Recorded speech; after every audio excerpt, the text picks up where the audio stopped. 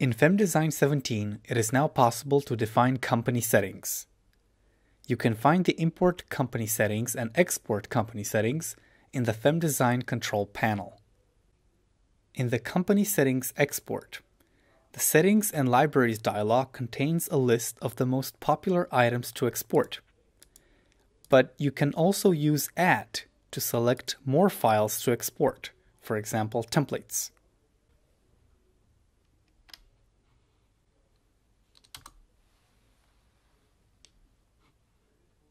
Once exported, the batch of settings and files can be imported using the import company settings command. You can drag and drop files directly into FEM-Design.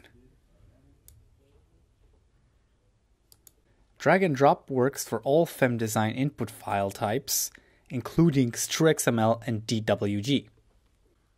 Upon right-clicking on any layer, all elements belonging to that layer will blink.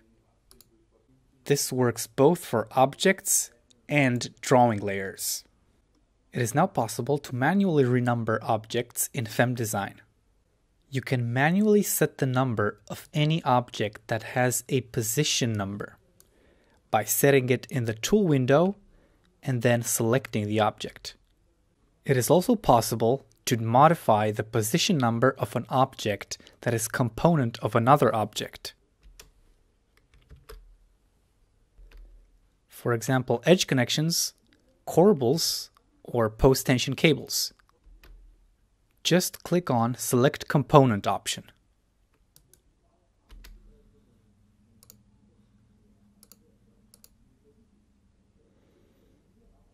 You can also select how to handle position number conflicts in the drop-down list. Renumbered elements can be highlighted. The refresh numbering and lock numbering that are known from the previous version are now moved into the numbering command. The reference plane is an auxiliary object that allows you to align elements to it. It can be found in the Structure tab in the Structure Grid panel.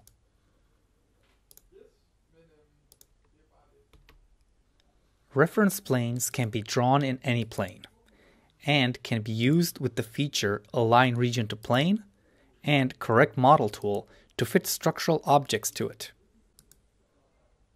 There is a new tool in Modify Region called Align Region to Plane.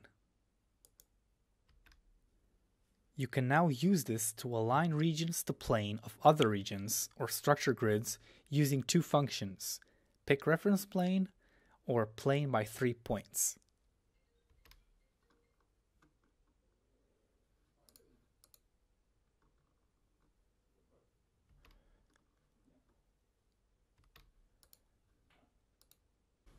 It is now possible to get the global unique ID for an object in FEM-Design.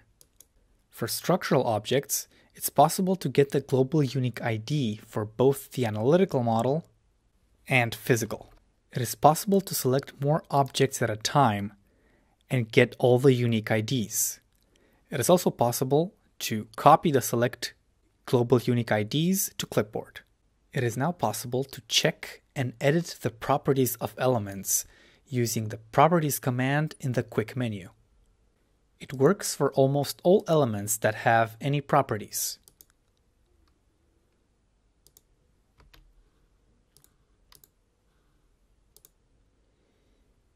and as well as for reinforcement. It is now possible to add camber simulation to beams, columns, and profile panels to get the right deflections. A new camber simulation by pre-stressing field can be activated, and you can enter the total force, and the eccentricity in y and z direction. In case of profile panels, the total force per element and vertical eccentricity should be input. A new load case type called camber by simulation has to be input.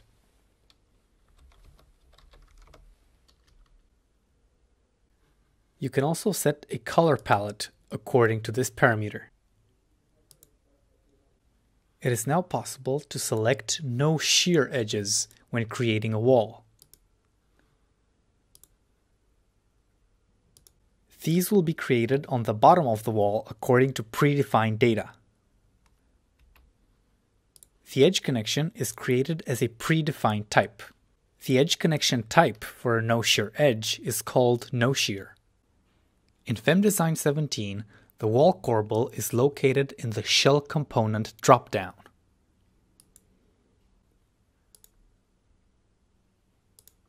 You can use the corbel to get the right eccentricities in the wall. In the General tab, all the geometrical parameters are located. In the Connection tab, you can set the stiffness for each direction and set a plastic limit force. In the Material tab, you select the material for the corbel. With the notional load feature, it is possible to convert vertical loads to horizontal loads and use them in seismic calculations, for example. You can edit the notional load case name and manually set the conversion factor and the factors for each load case.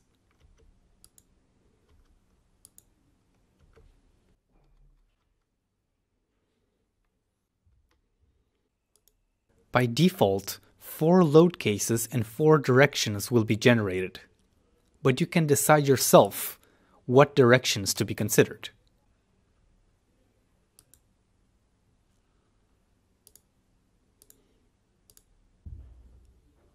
In Settings, Calculation Analysis, you can select to find identical copies before calculation for structural elements and for loads. In case some objects are found, you have the option to delete them, calculate without deleting, or cancel calculation so you can investigate them manually. In the Calculations menu under Analysis, you can now select the diaphragm calculation to be fully rigid.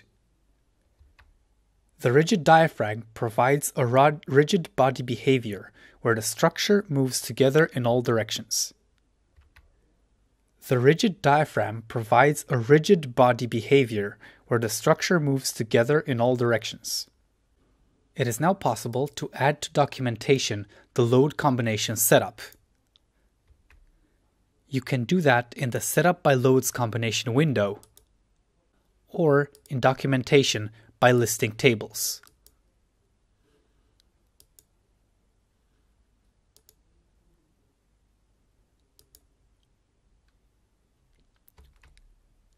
In FEM-Design 17, the displacement results will be categorized as translational displacements and rotational displacements. The translational displacements will replace the FEM-Design 16 displacements result and will now be available in color palette as well. The rotational displacement is new and will be displayed as color palette.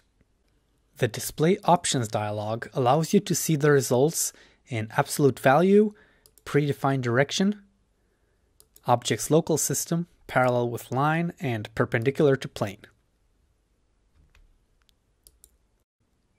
A new feature in FEM-Design 17 allows you to calculate the shear center of each story. After performing an eigenfrequencies calculation, you will be able to display the shear center on your structure.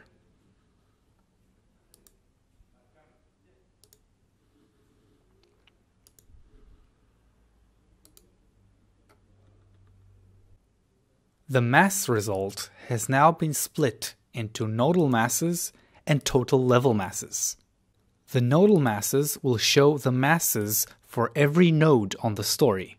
The total level masses will show the total mass for every story and for the whole structure. The coordinates of the mass can be displayed in the tooltip and can be listed into the documentation. The reinforcement and section drawings from the RC bar detailed results can now be exported to AutoCAD.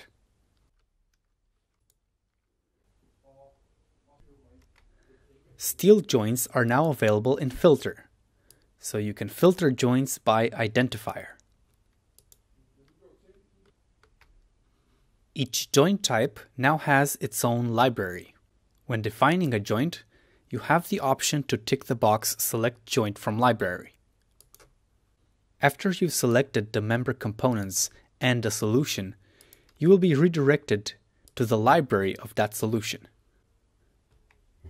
In the standalone version, you go to Joint Library and load the saved joint solution. The library can be used for different projects as well. It can be transferred through the company settings. In FEM-Design 17, you can now verify the anchorage tension resistance.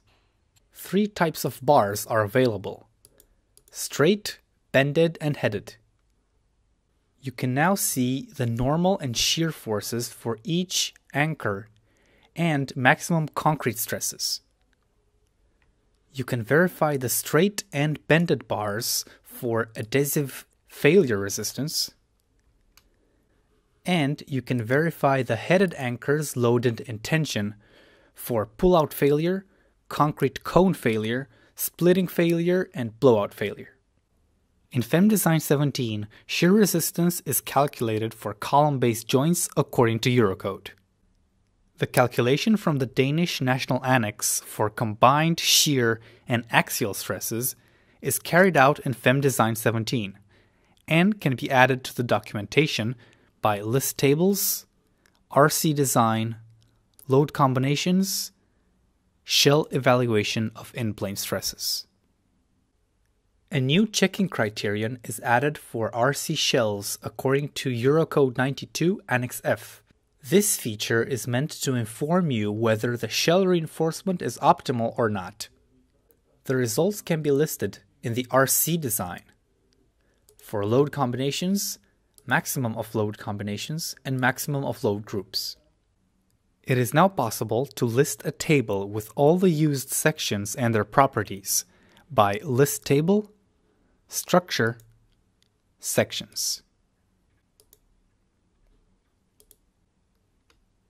It is possible to list steel joint utilization according to load combinations and maximum of load combinations.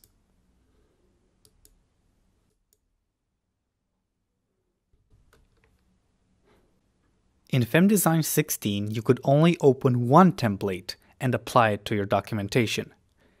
It is now possible to add templates and insert them after the last existing documentation item. This is possible with templates append.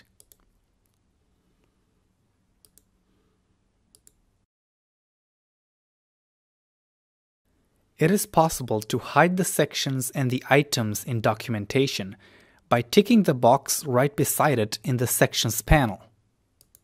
If hidden, the sections will be listed, but they are not displayed, which can speed up the documentation module. Help FEM-Design Support launches a support dialog that you can use to submit your support case. Here you can select your preferred response type via email or via phone or TeamViewer. You can attach the current file, the current result file, and you can add extra files like PDFs or screenshots. The Help button opens a document explaining how to use the dialog and some tips on how to use screenshots or a step recorder.